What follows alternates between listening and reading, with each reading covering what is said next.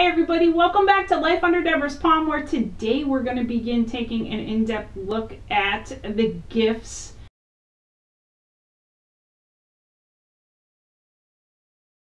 of Holy Spirit and we're going to begin with the word of wisdom and the word of knowledge. Not only what they are, but what they are not.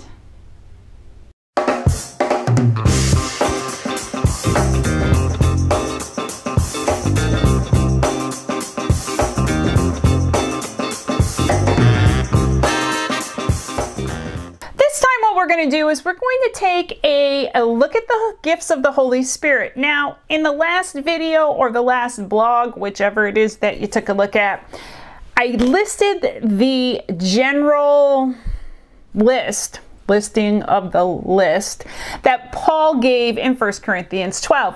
Now I'm going to break these things down a little bit and go more in depth with them. And the first ones I'm going to start with, I'm going to do the first two on the list, and that is the word of knowledge and the word of wisdom. And just a quick recap on them.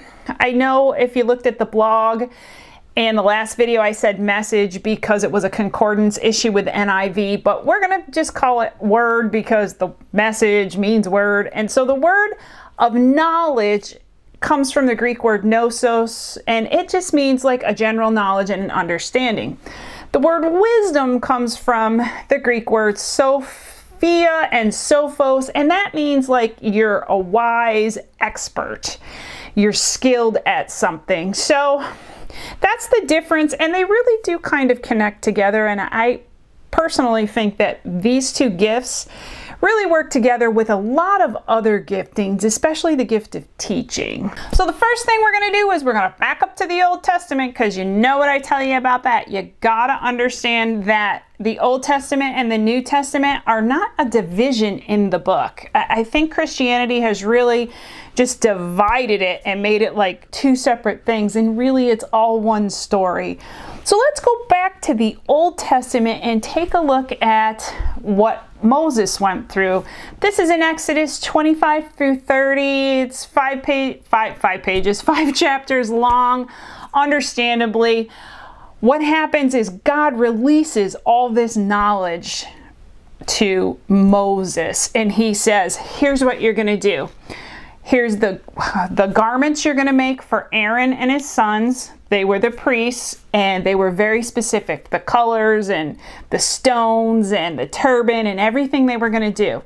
Then he said, Here's how you're going to make the tabernacle. Now, the tabernacle was a precursor to the temple. At this point in time, the Israelites were mobile and they were taking this tabernacle with them. So it was, you know, it was kind of a nomadic lifestyle for a while. So what they were going to build was going to be folded up, packed up, moved with them every time they moved, set back up. But God gives Moses this these long instructions for everything, um, everything that needs to be made, gold lampstands, the curtains to the the temples, the rings that are going to be on there, that hold the curtains up along with all the stuff they're going to use for an altar, a basin, the um, what do they call it? The I guess you sweep the ashes with it. All of those things were very, very specific instructions. So God gave Moses the knowledge. Now I'm going to read to you just a little bit, and this is out of Exodus 31 1 through 6. While Moses got the knowledge, he did not have the skill, or if he did, it didn't say that he did. God told him who he was going to use to build this. And so he this is what is written. It says, Then the Lord said to Moses, See, I have chosen Bezalel, the son of Uri, the son of Hur of the tribe of Judah, and I have filled him with the Spirit of God, right? Spirit of God, gift of Holy Spirit before it was released at Pentecost. Um, so it says, I have filled him with the Spirit of God, with wisdom, with understanding, with knowledge, and with all kinds of skills to make artistic designs for work in gold, silver, and bronze, to cut and set stones, to work in wood, and to engage in all kinds of crafts. Moreover, I have appointed, oh, Aholiab, son of Asamach of the tribe of Dan to help him. Also, I have given ability to all the skilled workers to make everything I have commanded you. So Moses had the knowledge. These guys had the wisdom. God had just upped their skill level and probably their ability to really see how these things were expected to be made the way that God had had purposed them. So now let's skip into the New Testament. And the gift of the word of knowledge and the word of wisdom. This is probably the only place that I have seen, could maybe it exists somewhere else, I didn't see it, where the Bible actually calls it a word of wisdom. Paul calls it that. But normally, it, it really isn't referred to by the name of the gift it just works with other giftings and it and it doesn't necessarily get pointed out. Like hey there's the word of wisdom. So this is the one place that we see that Paul actually uses the name of the gifting. And he is explaining it in 1 Corinthians 2 6 through 8 and he says we do, however, speak a message of wisdom among the mature, but not the wisdom of this age or of the rulers of this age who are coming to nothing. No, we declare God's wisdom, a mystery that has been hidden and that God destined for our glory before time began. None of the rulers of this age understood it, for if they did, they would not have crucified the Lord of glory. So he is saying, I'm giving a message of wisdom that I received from the Lord.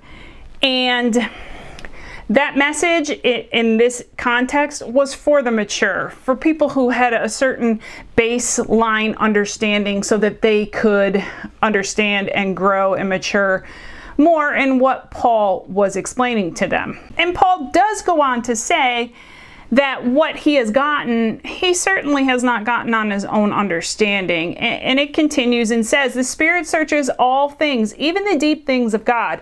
For who knows a person's thoughts except their own spirit within them?